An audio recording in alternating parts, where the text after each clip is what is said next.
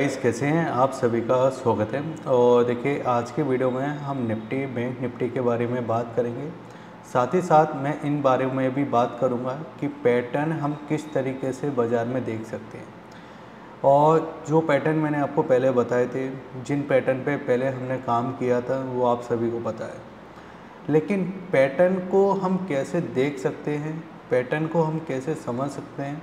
और इस वीडियो में मैं पूरी कोशिश करूँगा कि अगर आपको चार्ट देखना नहीं आता, आप चार्ट देखना नहीं जानते हो, लेकिन आप पैटर्न को कैसे समझ सकते हो, फिर उसके हिसाब से आप कैसे काम कर सकते हो, और कल के दिन बैंक निफ्टी या निफ्टी में किस तरीके के मूवमेंट आ सकते हैं, उसको भी हम इस वीडियो में समझने की कोशिश करेंगे, ठीक है? बस आपको वीडियो को पूरा देखना है। जो चीज़ें मैं आपको समझाऊँ, वो आपको रिपीट करना है, आपको खुद को समझना है चार्ट पे जाके वो पैटर्नों को समझना है और मैं ये रिक्वेस्ट बिल्कुल करूँगा कि जितनी मेहनत मैं आपके लिए करता हूँ, एक लाइक ज़रूर करो, ठीक है? और प्यारा सा एक आप कमेंट कीजिए, ठीक है? अब यहाँ पे अपन समझते हैं कि यहाँ पे देखिए हुआ क्या? यहाँ पे अगर मैं बात करूँ तो यहाँ पे देखिए एक हैंडल शोल्डर पैटर्न बना था इस तरीके का एक हमको एक हैनर शोल्डर पैटर्न बनता हुआ दिखाई दिया था। जब हैनर शोल्डर पैटर्न बनता है, ठीक है तो उसका जो लो, यानी जे वाला जो लो है, यहाँ से हमारा बनना चालू हुआ था। इस जगह देखिए, यहाँ पे क्या हुआ था, जे वाला जो कैंडल था, ये 22 तारीख का था, और ये हमारा एक शोल्डर का हाई था, ठीक है, ये हमको एक शोल्डर का क्या देखने को मिला था हाई देखने को मिला था, ठीक है।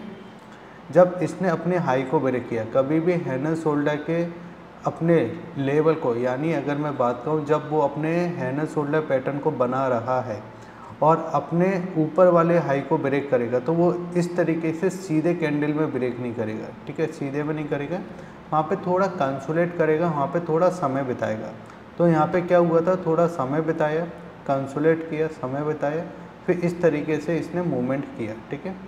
ऊपर की साइड अगर आप देखो तो यहाँ पे छब्बीस का एक हाई मारा था, जो कि एक लाइफ हाई के आसपास का था। अब यहाँ पे हमको कैसे पता चला कि जो आपके, इस जगह जो आपके बायर थे, ये आपके जो बायर थे, ये आपके ब्रेक हो गए। क्योंकि यहाँ पे अगर आप देखोगे ना तो यहाँ पे ये वन कैंडल में, यानी जब आपका जो हैना शोल्डर पैटर्न का देखे आपका ऊपर जा रहा तो देख यहाँ पे इसने कंसुलेट किया, यहाँ पे इसने समय बिताया। लेकिन यहाँ पे इसने क्या किया कि वन कैंडल में इन सब लोगों को निकलने का मौका नहीं दिया और सबके क्या किए? एस खा गए। यानी देखिए, मार्केट पैसा कब बनाता है? आप सवाल पूछो। अगर आप एक बड़े सेलर होते, आपके पास बहुत सारा पैसा होता तो आप पैसा कब बनाते? इन सब लोगों को निकलने का मौका देते, आपका पैसा जब बनता, या आप इन सब लोगों को ट्रैप करते? तो यहाँ पे क्या किया कि यहाँ पे देखो निकलने का मौका नहीं दिया। और एक बड़ा कैंडल बना तो यहाँ पे बड़े कैंडल से जितने भी आपके यहाँ पे बायर थे, उन सब लोगों ने क्या किया हुआ? कुछ लोगों ने एवरेज किया हुआ। अगर किसी का देखिए यहाँ पे प्रीमियम होल्ड है, ठीक है? आपका प्रीमियम होल्ड है दो सौ रुपये का। और वो दो सौ से सीधे आपका नीचे की साइड ओपन हो गया। एक्सपायरी वाला दिन होगा तो एक्सपायरी वाले दिन तो आप ये समझ लो कि सौ से लेके नब्बे आ गया होगा वो, ठीक है? और अगर आपका नॉर्मल डे होगा तो मान के चल सकते हैं 150 आपका हो सकता है, ठीक है?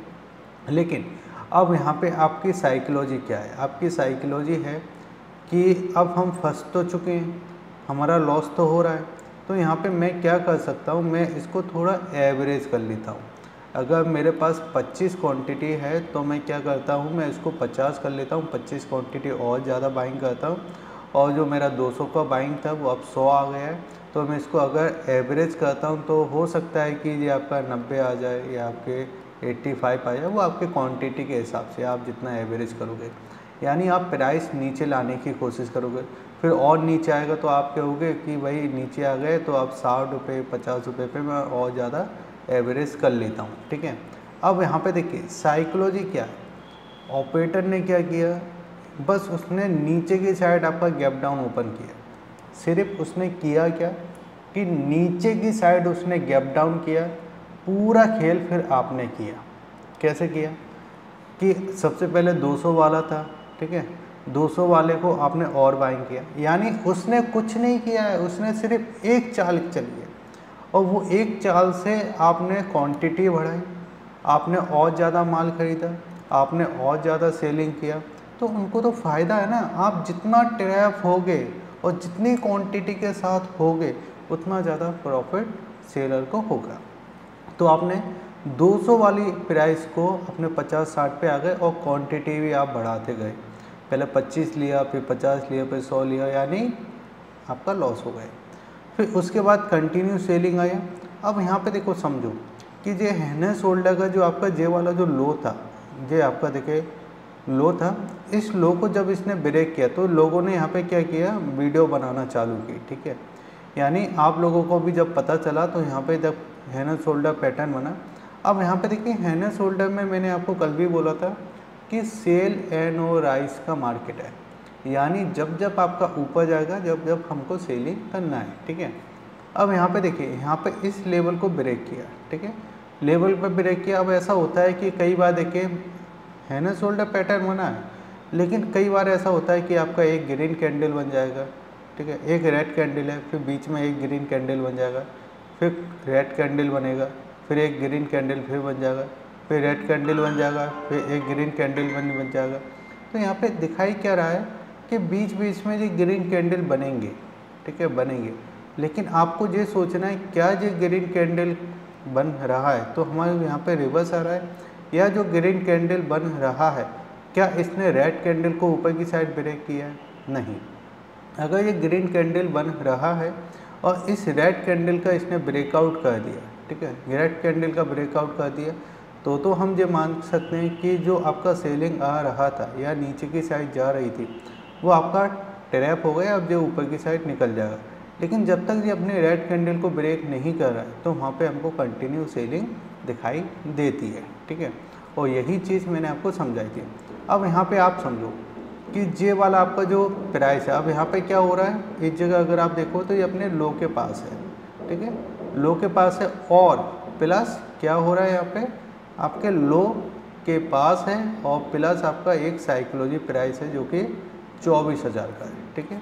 चौबीस हज़ार का। अब आपको ये समझना है कि जो ऑपरेटर ने यहाँ पे चाल चला था जितने लोग देखिए यहाँ पे फंसे हुए थे, इसने क्या किया? झटके से एक नीचे की साइड ब्रेक किया। और अब चौबीस हज़ार का प्राइस है और अभी हमारा जो क्लोजिंग हुआ है वो चौबीस हज़ार एक सौ अस्सी हुआ है, ठीक है? यानी अब हमारे पास क्या है यहाँ पे? अब हमारे पास देखिए 80 पॉइंट का और ज़्यादा सपोर्ट है। अगर ये इसको ब्रेक करता है तो हमको और सेलिंग देखने को मिल सकती है इस मार्केट में, ठीक है? यानी अब हम इसमें क्या एक रेंज निकल के आया कि चौबीस हज़ार के नीचे तो सेलिंग है लेकिन चौबीस हज़ार दो सौ से लेके आपका चौबीस हज़ार दो सौ पचास, ये हमारे लिए रजिस्टेंट का काम करेगा। जब तक ये इसके ऊपर नहीं जाता, हम किसी तरीके की बाइंग नहीं करेंगे। और जो इसके नीचे जाता है तो हमको सेलिंग की अपॉर्चुनिटी है। या जो इसके आसपास भी मिलता है तो हमको सेलिंग करने की अपॉर्चुनिटी है, ठीक है? ये चीज़ें समझ में आई? ये हैंड एंड शोल्डर पैटर्न है, ठीक है?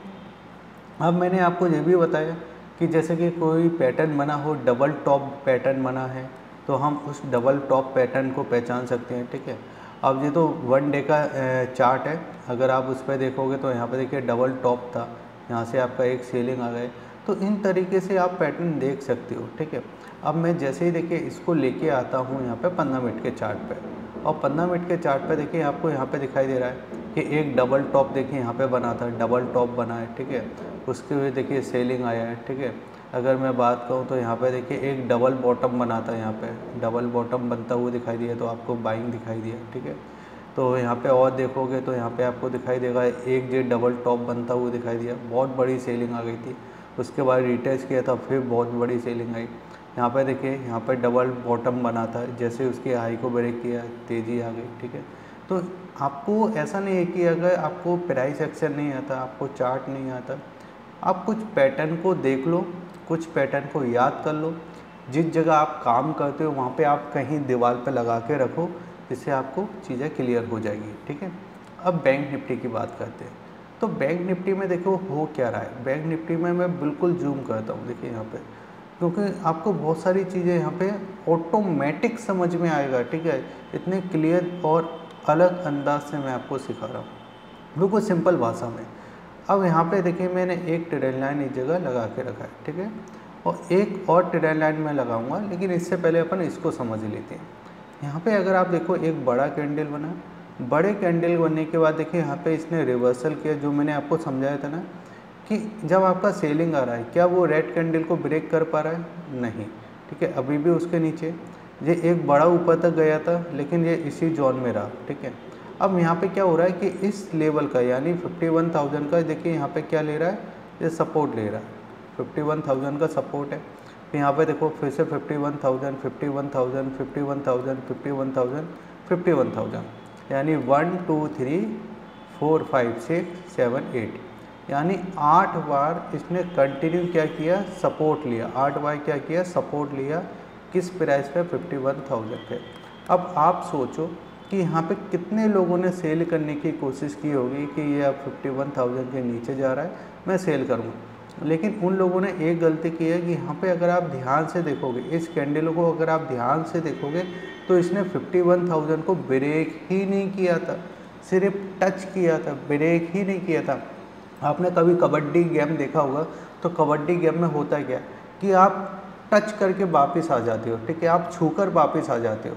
आपने जैसे ही छुआ, वो जो प्लेयर है, जिसको आपने छुआ, वो आउट हो जाएगा, ठीक है? अगर आप उसको टच करके वापस आ गए तो। ऐसे ही यहाँ पे क्या है कि बाज़ार नीचे जा नहीं रहा है, वो सिर्फ़ टच करके वापस आ रहा है, ठीक है? तो खेल हमको बहुत सारी चीज़ें सिखाती है तो ये टच करके वापस आ रहे हैं, ठीक है? तो हमको ये नहीं करना हमको ये नहीं देखना है कि मार्केट कर ही देगा। ऑपरेटर तो चाहता है कि आप जाओ टच करके वापस आ जाओ ठीक है?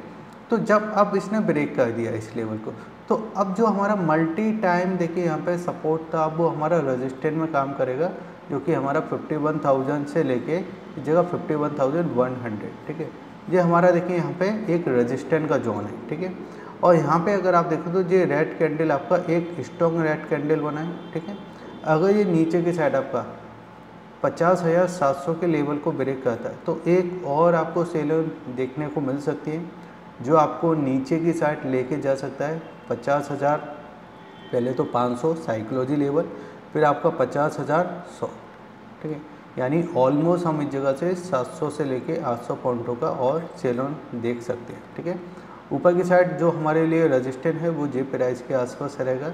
क्योंकि इसने एक सेलिंग दिया है तो एक ऊपर कोशिश करेगा, वो ऑपरेटर है, पहले आपको लोगों को बिठा लेगा, फिर नीचे की साइड एक मूव करने की कोशिश करेगा, ठीक है?